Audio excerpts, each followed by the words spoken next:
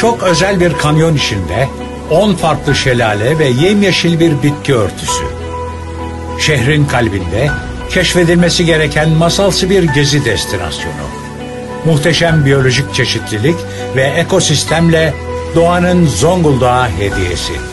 Harmankaya şelaleleri ve tabiat anıtı. Zonguldak, yakın Karadeniz. Bu yol doğaya çıkar.